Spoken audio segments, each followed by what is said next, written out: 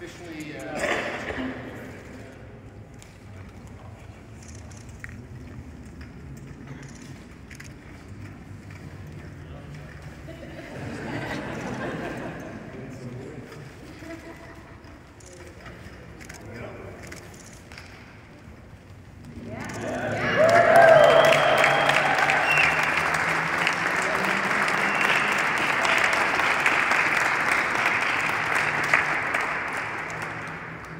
Ladies and gentlemen, Mr. Patrick Marleau. Give him one more round of applause.